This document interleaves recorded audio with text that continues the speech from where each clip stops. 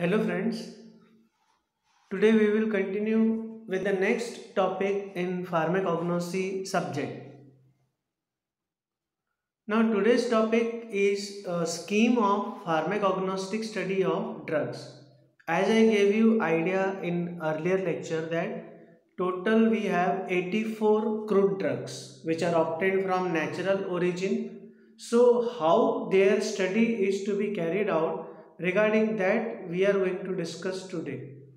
Today's lecture just it is to make you understand that how individual drugs we are going to cover and how you are going to study. There is no any question that is asked on this topic that we are going to cover today but we have to study these drugs in a pharmacognostic manner. Now Now there are certain technical terms that are used while studying any drug. What are these terms and what is their meaning that we are going to study today. Now the first is official title then synonym or vernacular terms then biological source and family geographical source, history of a drug, cultivation, collection and processing of drug. Then morphological characters or they are also called macroscopical characters. Then microscopical or they are called histological characters, chemical constants, then chemical test, then uses or uh, therapeutic actions of drug then various substitutes and adulterants. Now we will see the meaning of all these terms and how the drug is studied as a sample. One drug also today we will cover. Now official title. Official title means what? By this name the drug appears in the official books like say for example pharmacopoeia you know all about the pharmacopoeia. So in pharmacopoeia, whatever the name is given of the drug, that we can say it is a official title. Now, the drugs of outstanding therapeutic value are standardized in national pharmacopoeia. And accordingly, by that name, the drugs are published in the various official books by different countries in the world.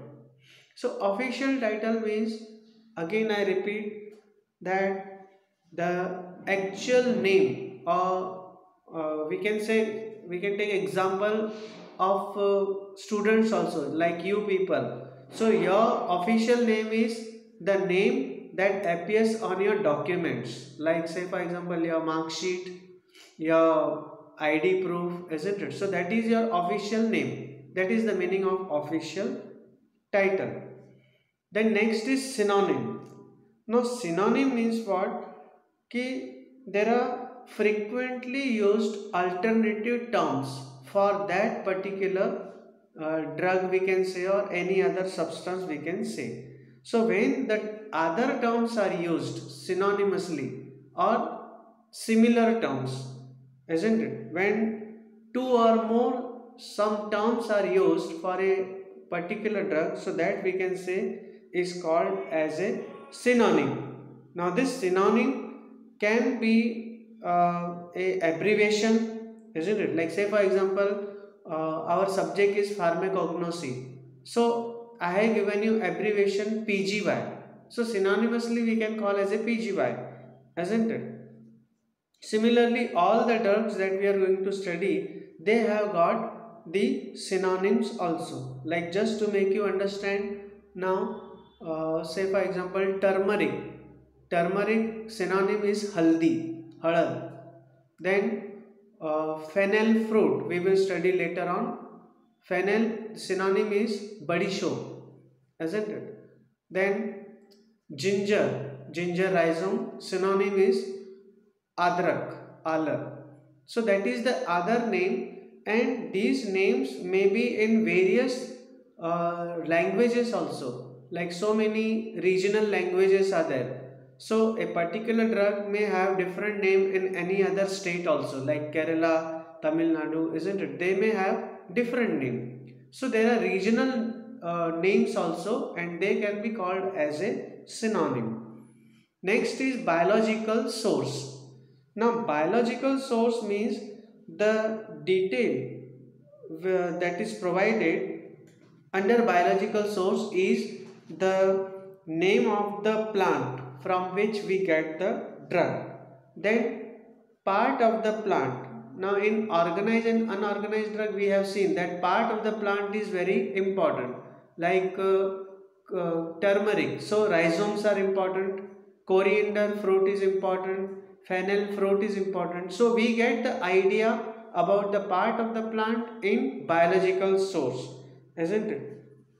Then the uh, name of the plant also isn't it? Like turmeric. So we get turmeric from curcuma longa. Curcuma longa is a biological name name of the plant isn't it then in some of the cases we get the limit of active constituents also. Like what is the percentage of active constituents present in the drug? That idea also we get under biological source. And then the family. Now what is the family? To which family the drug belongs that also we get under biological source.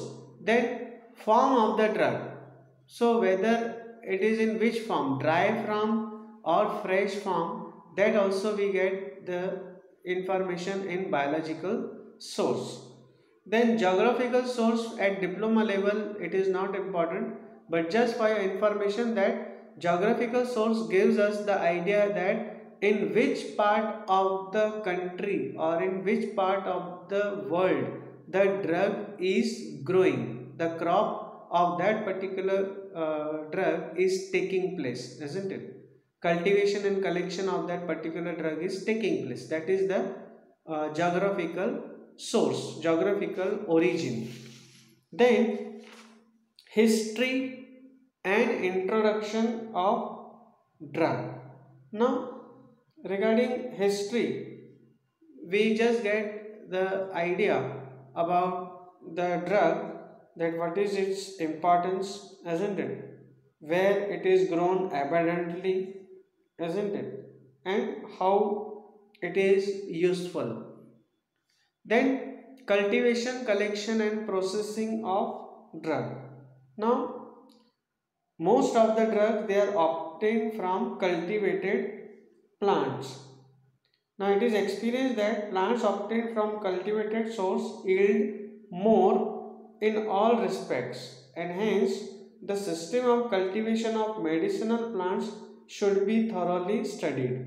But at diploma level, only 5 drugs you have in syllabus for collection and preparation of drug for market. So that topic separately we are going to cover later on. Then morphological characters of drug.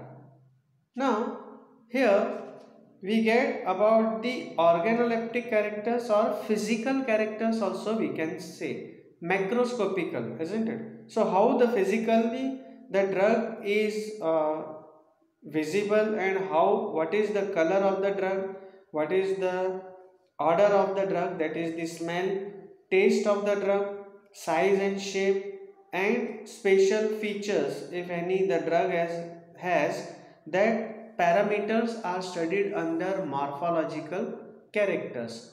So morphological characters we will study of drugs in practical, isn't it? In uh, regarding color, odor, taste, extra features, isn't it? Then comes microscopical characters or histology. Now in organized drug of plant origin, the study of the cellular organization isn't it? Histology that is covered. And for this the microscope is useful. So by microscope uh, we can study the arrangement of the tissues isn't it? We are uh, in your syllabus 10 drugs are there. In practical we are going to take transverse section and we will study the cellular arrangement of that particular drug isn't it? So in syllabus you have fruit also. We have bark we have rhizome we have seed and leaf also. So of these drugs uh, the transverse section you are going to take and you are going to study the microscopical characters isn't it? Now in transverse section apart from the cellular arrangement we get about the idea about the uh, various other characters also. So in that uh, respective practicals we will go in detail. Then chemical constituents. Now in uh, classification of drug we have studied about the different methods. So there the various classifications we have studied isn't it? Here also the chemical constituents are important the use of the drug any drug that depends upon the constituents active constituents that are present in the drug these drugs contain several constituents. Now these may be active and on the same time there are constituents which are inert also or which are not active. So as a pharmacist the person must know about the active and inactive constituents of the drug also isn't it? Now say for example cinnamon dalchini. At home dalchini is available isn't it? So cinnamon contains volatile oil tannins and mucilage. So their volatile oil is active constituent whereas mucilage and tannins are inactive constituents of cinnamon bark. So regarding chemical constituent also it is uh, studied under pharmacognostic study. Then the chemical test. So chemical test also is important and uh, in practicals we are going to study about the chemical test. It is a criteria of identifying the drugs isn't it? So drugs or the powder sample is identified by physical test and chemical test isn't it? Then uses of the drug. Now the drugs actually have got different types of uses isn't it?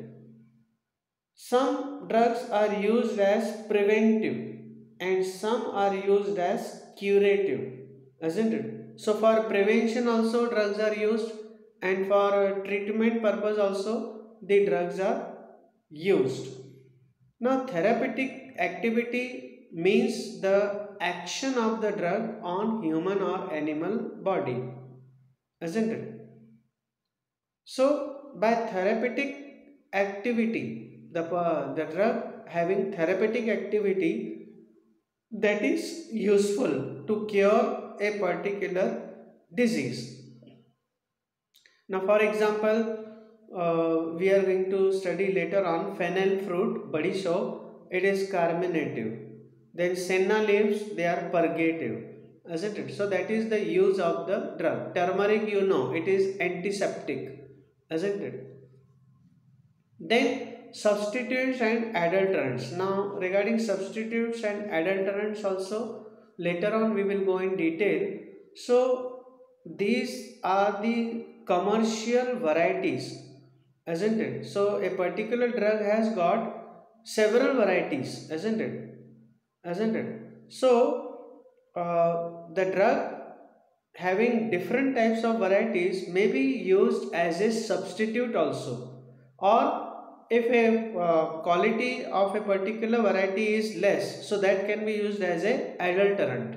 So that in detail we will go later on and you will get idea about that in a better way.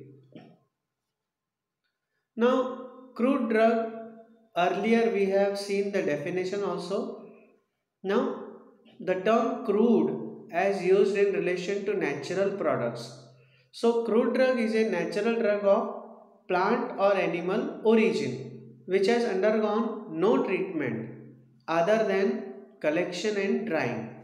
That is the quality or appearance of the drug has not been uh, advanced in value or improved in condition by any physical or chemical treatment. So, so many drugs they are uh, collected as a crude drug from the plant like digitalis leaf. We will cover later on Rauwolfia roots. All these two examples are of organized drugs, isn't it? Later on we will study.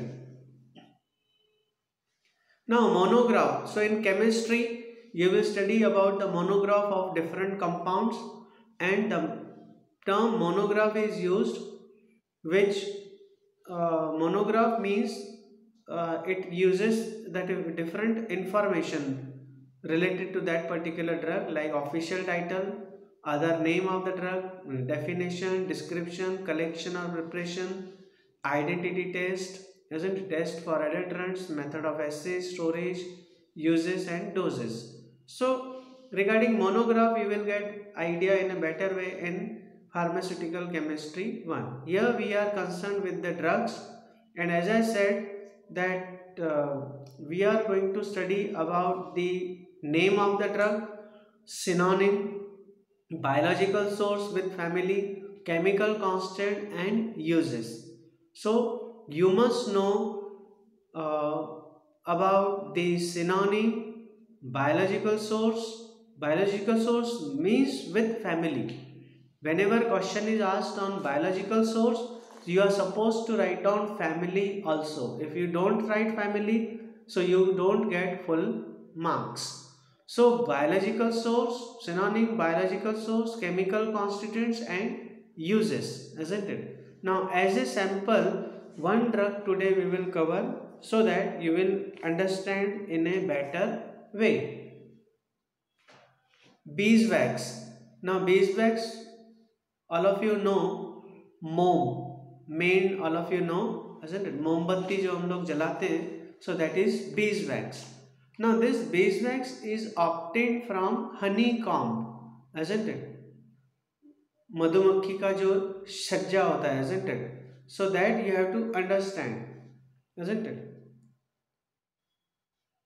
now, the synonym of beeswax is sera flava. Or yellow beeswax, Cera alba. These are other names, synonym used for beeswax, isn't it? Biological source, beeswax is a wax-like substance obtained from honeycomb of bees. Now, yeah, always you must be able to write down biological source in sentence form Earlier also I said that in biological source we get the idea about the nature of the drug, from where the drug is obtained, biological name of the drug, isn't it? Form of the drug. So it is a wax-like substance. Beeswax is a wax-like substance. And family also. Now, beeswax is a wax-like substance obtained from honeycomb. यानी मधुमक्खी का जो छज्जा होता है isn't it so honeycomb of bees and your, the name of the bees species also we must know apis mellifica and apis dorsata two important species are there of bees apis mellifica and apis dorsata family is apidae now beeswax uh, is obtained in two forms. Yellow beeswax is also there and white is also there. So white beeswax obtained by bleaching yellow beeswax. So chemical treatment is carried out where yellow beeswax get converted into white beeswax. Now just for your information geographical source it is not in your syllabus. So you may not study geographical source of any drug only four important things you keep in mind. Synonym biological source chemical constant and uses. Now morphological characters we are going to cover in practical isn't it of all the drugs. Here the color of beeswax is yellowish brown, odor smell is agreeable honey like and taste is waxy because it is a wax. Texture is soft so when we touch uh, beeswax it is soft. Solubility it is soluble in ether, chloroform, carbon tetrachloride, volatile oil, fixed oil. So in organic solvents it is soluble, isn't it? Then chemical constituents. So the main chemical constituent is myricin. It is also called myricyl palmitate. Then cerotic acid, cerolein, cholesterol, lactone, isn't it? there is no need to study structure you don't have uh, structure of any compound in pharmacognosy just names you must be able to write down of the compounds of the chemical substances isn't it so in beeswax the main chemical constituents are myricin myricyl palmitate cerotic acid cerolein lactone cholesterol esters isn't it? Regarding chemical test, we will study in uh, practicals. Then uses. So this beeswax is used as a emulsifying agent. It is used in manufacturing candle molds, in manufacture of face creams, plasters, shoe polish, in dentistry. So in uh, the, the dental doctors they also use this beeswax. So where they are uh, using to prepare the mold isn't it? So initially they prepare a particular mold of the teeth isn't it? So in dentistry also it is useful in preparation of lipsticks in preparation of paraffin ointment isn't it so in cosmetic preparations it is useful and it has got pharmaceutical use isn't it now this drug is under pharmaceutical aids. We will start with the first category of the study of drugs, pharmaceutical aids in next lecture where in this category 14 drugs are there. So this is the one which is already we are covering here. We will continue with pharmaceutical aids in the next lecture isn't it total 14 drugs are there in pharmaceutical aids so this beeswax also comes under pharmaceutical aids, isn't it?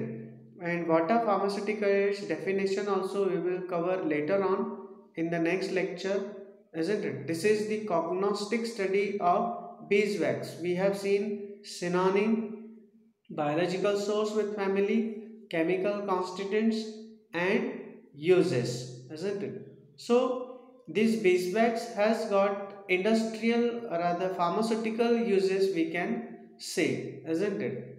In uh, manufacturing purposes isn't it? And it is used as a base for most of the preparations isn't it so uh, thank you we have covered only one drug in this uh, uh topic that is beeswax isn't it I hope you have understood how we are going to cover the pharmacognostic study. So before going in detail, you must be able to understand that how we are going to study these crude drugs. Thank you.